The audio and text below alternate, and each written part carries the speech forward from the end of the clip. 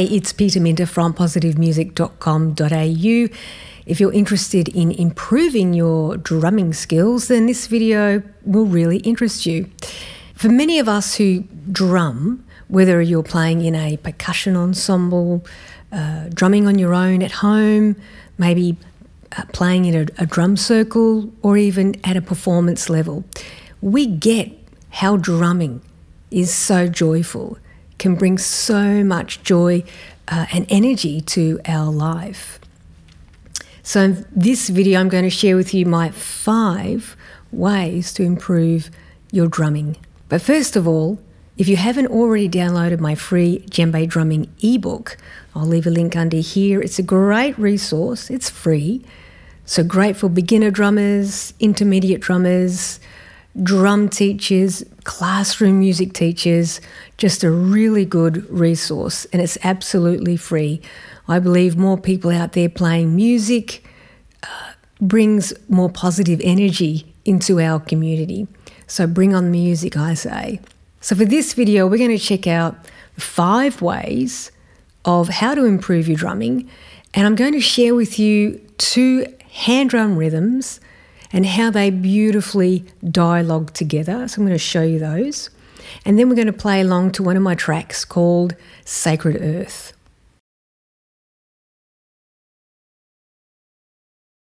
So, number one, okay, timing. Timing is everything, yeah? As a drummer, we need to have good time. And so, what we need to do is practice either playing with a metronome or playing along to music. Some people might go, playing along to a metronome can be really boring. Yeah, it can. But what I kind of do, change it in my mind, I change it into that's someone else just playing like a cowbell. It's someone, I'm actually playing with someone. So, because what can happen uh, on a subconscious level that we begin to fight the tempo, we begin to fight the metronome instead of working together, that it is another person that we're playing with. Playing along to a metronome is great to build our time. So, for example, if you're wanting to play a phrase, a rhythm that can be played at a fast tempo and you're not quite there yet, your timing isn't quite right, then I recommend that playing at a really slow tempo. Start with all, when you're starting learning new rhythms, always start with a slow tempo.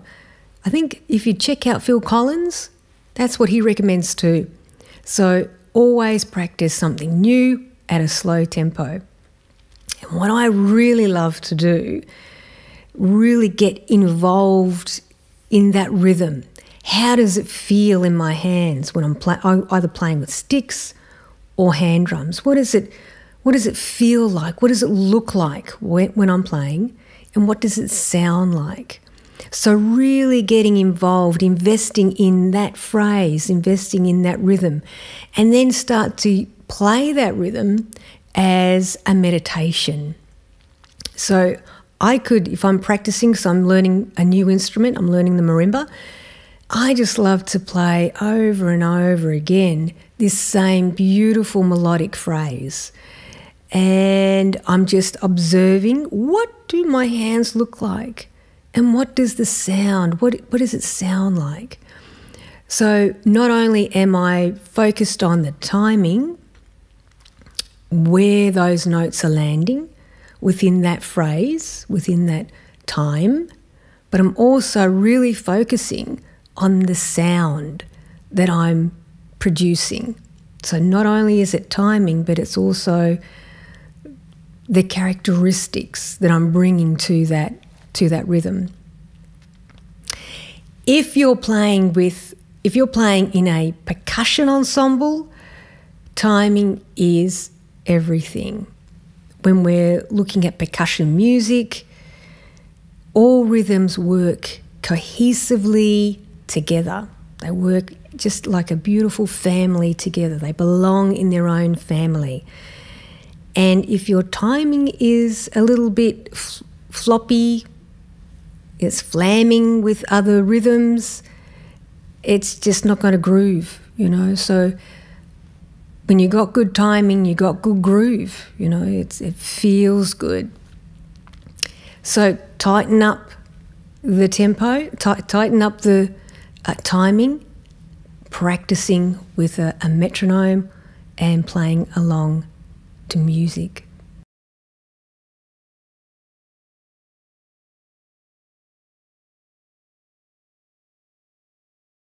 Number two, okay, feel. How do we practice feel? It's really it really comes down to exploring, being curious, listening to a lot of music, playing along to music. That's why I recommend in this video that we're going to have a jam together playing along to one of my tracks. Playing along to music, I remember when I first started out learning how to drum, playing on the drum kit, uh, I just spent, you know, nights and nights, nights and mornings playing along to music. And then what happens is that because you're playing along to professional musicians, uh, because you're playing along to um, the music, like for example, if, if it was a jazz band, you're playing with these professional musicians on these records.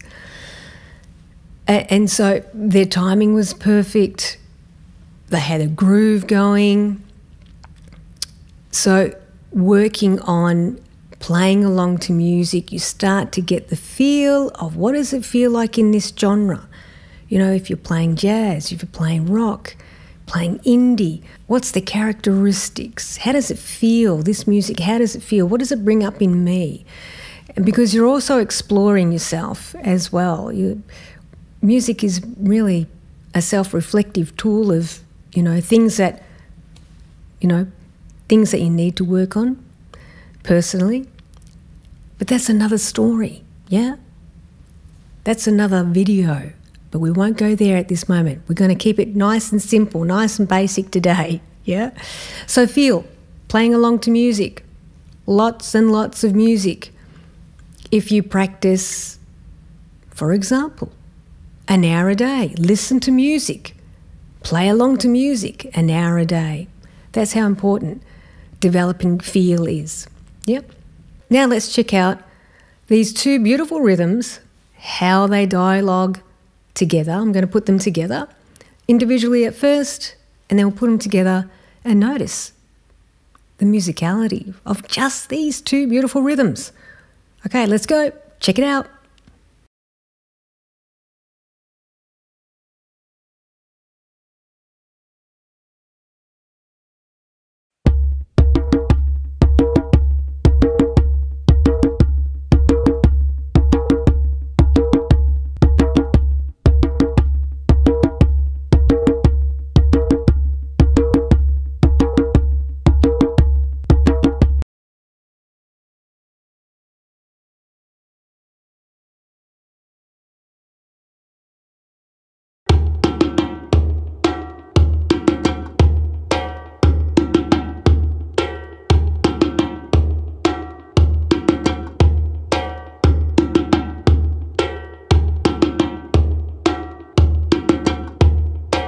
Now, get your drum, hand drum, and let's go and play along together to Sacred Earth.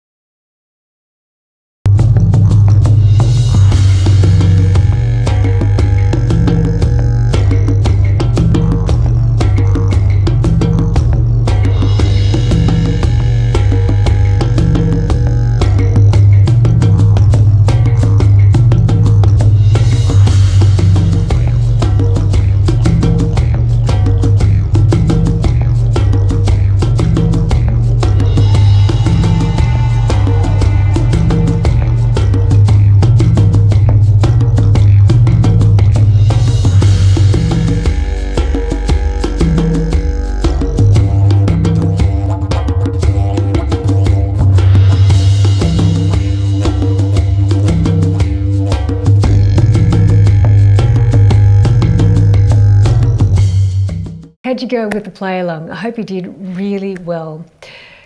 So, if you're interested in Sacred Earth and all the hand drum rhythms that go along with this song, as you can hear, it also includes a lot of uh, Australian instruments such as the didgeridoo. So, it's very grounding and earthy, this song. Uh, it has maybe five play along uh, rhythms plus solos as well. Comes in a PDF form plus uh, MP3s, high quality MP3s. I'll leave a link under here where you can get those off positivemusic.com.au.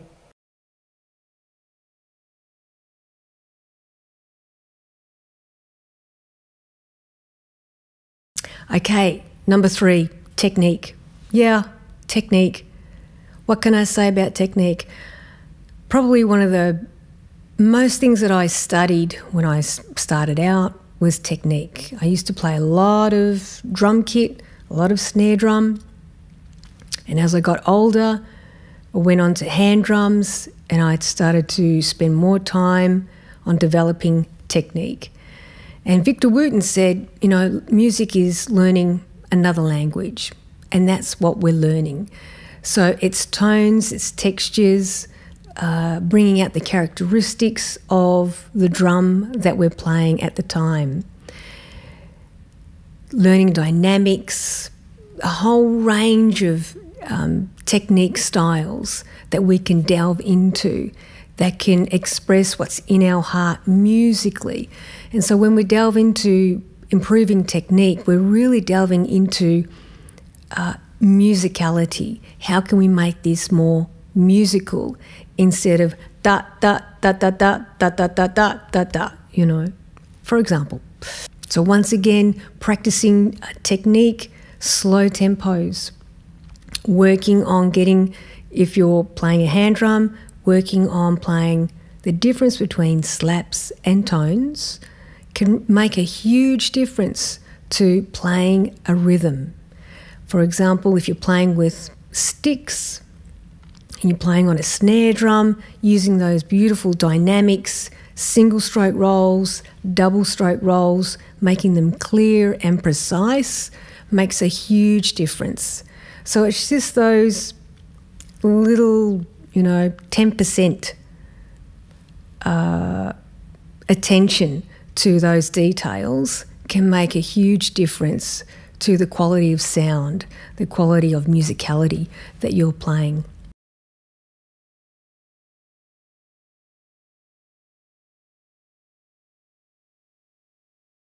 Okay, so the number four, yeah, I think we're up to number four.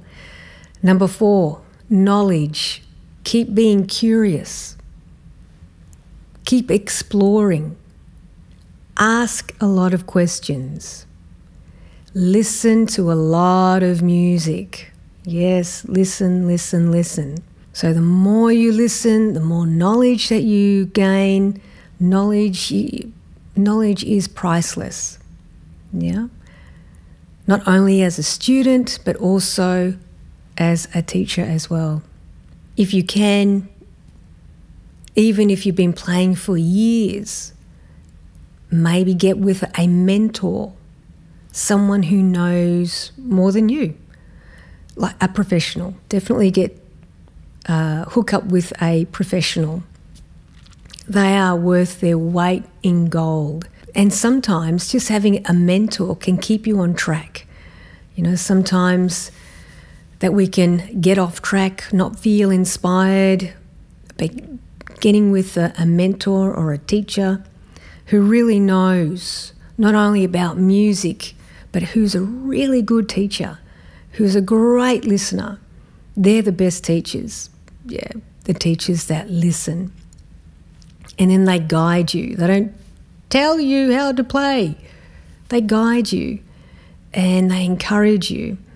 And so, getting with a mentor who knows a lot more than you, as I said, worth their weight in gold.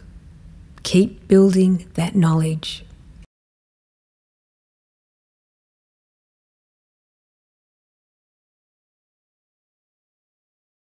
And the fifth one. Well, what can I say? I think if you're learning anything, anything in life, uh, anything creative, anything that might be personal, music, art, accountancy. I don't know. I don't do numbers well, even though I'm a drummer. Yeah, anyway, it's another story. Comparing ourselves to others, it can be a huge downfall and can actually really be quite detrimental. So, comparing ourselves like that person is so good, I can never play like that piece like that person. Oh, I might as well give up, you know. No, don't. Don't. We need more unique people. So, actually, it's probably best that you don't play like someone else. Be yourself. So, keep focused on your track. This is your track. Once you start comparing yourself to others, you start to get off track, you know, and then you're led down this path of ego. And it's a never ending, self defeating game. No. Stay on your track. Stay on your track. Be uniquely you. Be uniquely you. Practice the basics, be uniquely you. Stay strong, have that courage to be you. Yeah, it does take courage, especially in today's world we're living in, when there is a lot of comparisons. There's only one of you. Be you. You're the best at being you. Yes? Yes. Well, thank you so much. I really appreciate you spending time with me, I know our our time is very precious. So I, I really thank you from the bottom of my heart. And once again, if you haven't already downloaded my free djembe drumming ebook, please download it. More music that's being played out there, the more positive energy, positive music that's being played in the world. So, what instrument do you play? Or what are the challenges that you have playing your own drum? Please feel free to add a comment below. Click share, like the video. And if you haven't already subscribed to the channel, please feel free to subscribe. Namaste. Have a wonderful week and keep on drumming. Bye.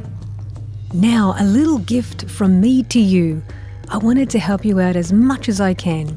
I've added some great hand drum and stick drum rhythms in my ebook called Seven Easy Steps to Develop Rhythm, Technique, Timing, and Feel. It's filled with lots of rhythms and musical tips for beginners and intermediates to help you take your playing to the next level. This is my gift to you and a wonderful resource that can accompany on your rhythmical journey. So you can grab your copy absolutely free. Just go to positivemusic.com.au forward slash free djembe drumming and download it right there and then. Thank you so much for watching and subscribing to the videos. I'll see you on the next video and take care.